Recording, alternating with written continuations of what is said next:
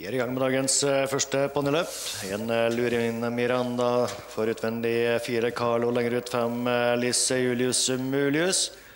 vi sitter under den seks eh, Meros eh, Filippe. Det er fem Lise Julius Mulius som eh, stikker til tet. Får med seg seks eh, Emeros eh, Filippe som kryper ned i ledryggen. Tredje innvendig en eh, Lurine Miranda. Det er som eh, fjerde fire Carlo. Som eh, femte hest av to eh, Lindåsens egoist avslutter i øyeblikket. Det gjør eh, tre Høgli haster. Gjennom første sving eh, fem Lisse Julius Mulius som følges av seks Emeros Filippe. Seks Emeros Filippe som er litt ute av taktene. Får da opp i sin rygg en Lurine Miranda. Et par lengder bak den har vi så fire Carlo. På innsiden av den går eh, to Lindåsens Egoist. Noen lengder til eh, tre Høgli Aster. Det er fem Alice Julius Mulius eh, nedover oppløp for første gang. Fem Alice Julius Mulius som har fått en eh, 20 meter nå tilbake til seks Emeros Filippe, deretter en Lurine Miranda. Litt en eh, 15 meter fra den til eh, to eh, Lindåsens Egoist, som har eh, fire Carlo på utsiden. 10 meter til tre Høgli Aster. Ut på siste runden da med fem Lisse Julius Mulius der foran. Den er 30 meter nå foran seks Meros Filippe, som følges av en Lurine Miranda. Som eh, fjerde har vi eh, to Lindåsens Egoist, deretter som femte fire Carlo. Avslutter det gjør eh, tre eh, Ut på siste bortre langside med fem. Lisse Julius Mulius i eh, klar, klar føring. Har nå 40 meter til seks Emeros Filippe i en eh, Lurine Miranda. Det en eh, 20-30 meter til eh, to Lindåsens Egoist. Nå har 20 meter til eh, fire i rygg på den eh, tre Høgli Aster.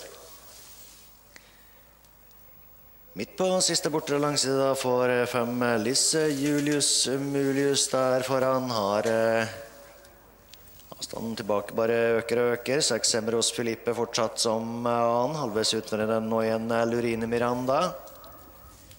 Deretter et stykke tilbake til fjerdehesten. eh, To Linnåsens Lindåsens Egoist. Opp som femte nå eh, tre Høgli Aster. Avslutter gjør gjøre fire Carlo. Ned i siste sving da for fem.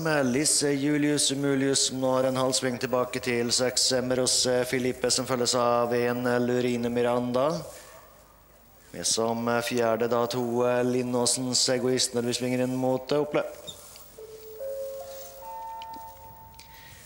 Inn på oppløp i Ensom majestet 5 Lisse Julius Mulius.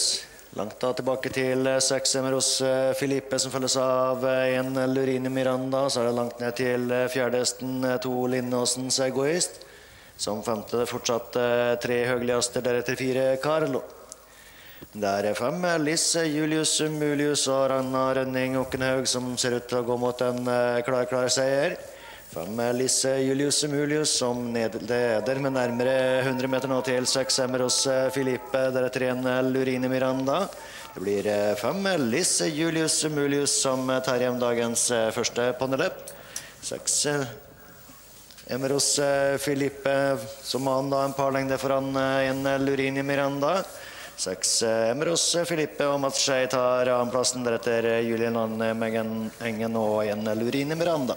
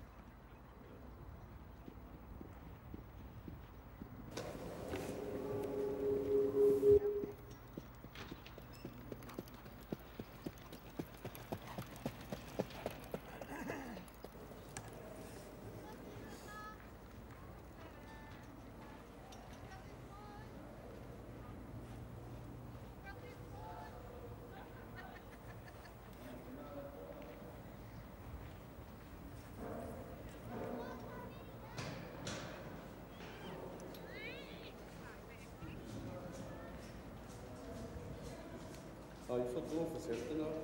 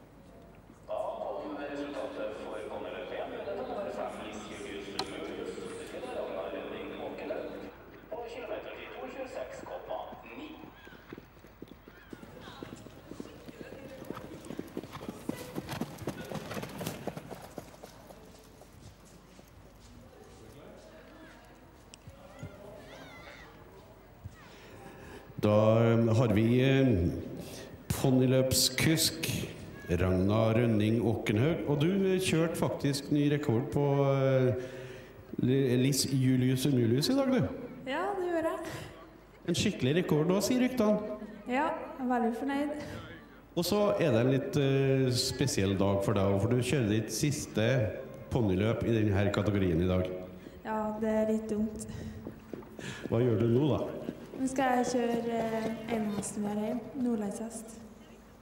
Så nordlandshest blir det ikke voksentraver ennå. Nei. Gratulerer med en fin eh, kuskeprestasjon. Og hils til Liss Julius Umulius, da. Ja, det skal jeg gjøre. Tusen takk. Du må få med deg blomster.